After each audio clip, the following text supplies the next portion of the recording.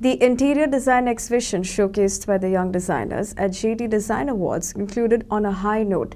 In attendance were renowned architects, media and influencers along with parents and students who came down in good numbers to support and motivate the youth of Goa.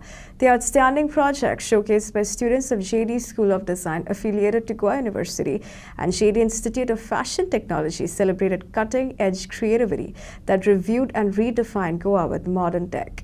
Uh, we are here uh, to uh, put up an exhibition for our graduating students from the interior design department where our students of uh, graduation as well as diploma programs they have put up a marvelous uh, products as well as ideas where we are uh, inviting the industry we are inviting the colleges parents and the student uh, committees to uh, see this particular exhibition and uh, give their feedbacks on the progress of the students.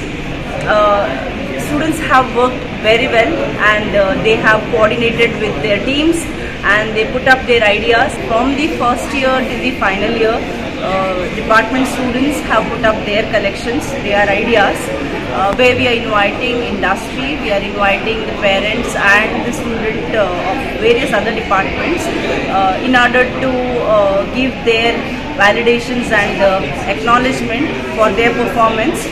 Uh, once a year we do this activity in our JD centers uh, so that we can uh, invite the industry, invite the press, industry as well as the uh, other institutions to see the kind of work which happens inside the JD Institute.